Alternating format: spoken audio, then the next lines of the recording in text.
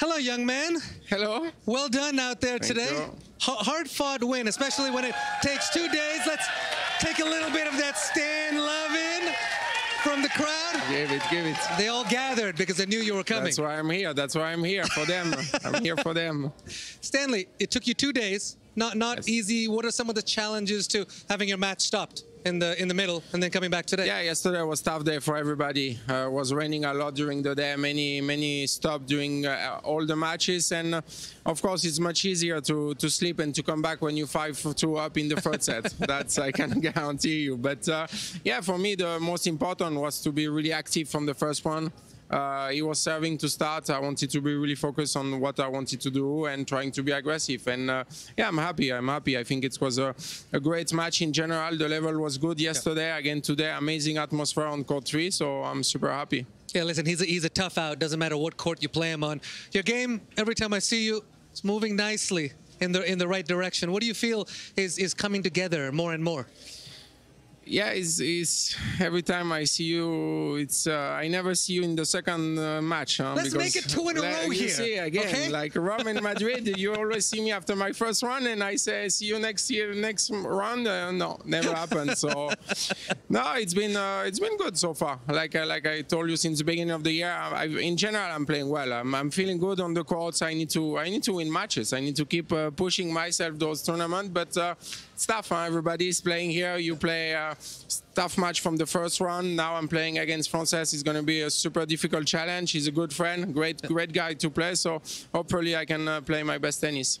I have to I have to give a little love to to your journey here because earlier in the year, you know, when you cracked in the top 100 again, you you posted a beautiful picture of yourself as a kid and said you you still have that same love for the game now and and I have to tell you in the live rankings, you're you're now back into the top 50. Which is That's which good. is which step is by step. step Trust by step. the process. Trust the process. You love that. You love that.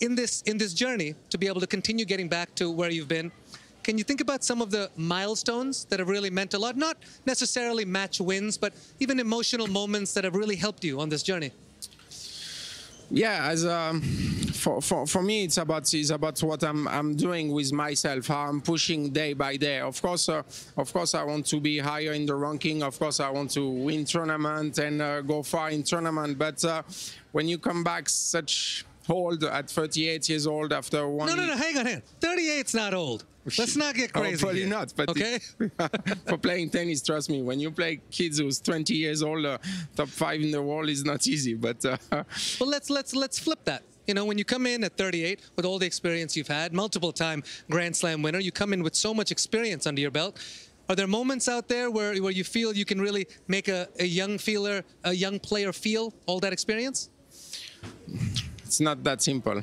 If tennis was that simple, it would be much better for me. But uh, no, I think at the end of the day, I, uh, my focus is on is on me, is on myself. As I say, is what I'm doing. If I want to improve, I need to to work harder. I need to keep pushing myself. And sometimes you have goal long term. You have goal at the end of the year, six months. But what's more important is what you're gonna do tomorrow how you're gonna do a better day than you did yesterday. And if you can do that with the great, dis- with the good discipline and with a smile, if possible, it will help you to be better.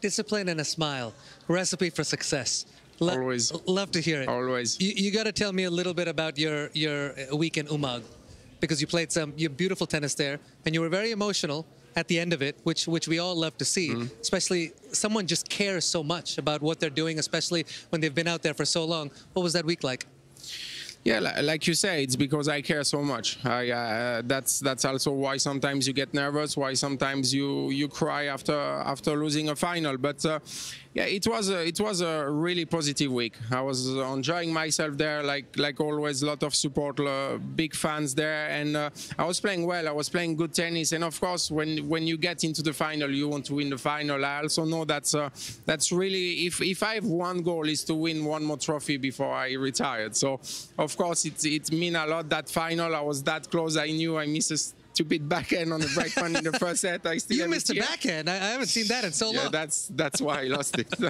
but uh, yeah, yeah. After you know, after it's everything. uh, Everything is fine. Was uh, was um, still going the right direction, uh, playing much better. So yeah, I'm I'm happy to be here. I'm happy to be in, in Mason, Ohio, and uh, hopefully I can play a big match tomorrow. Well, I, I think it's going to be more than one more trophy you're going to win. But um, let's talk about that next match. I, I, know you cherish the moments in front of the big crowd even more these days uh, at this stage in your career. You, Frances, that's going to be a Showtime match. There's going to be a lot of people out there.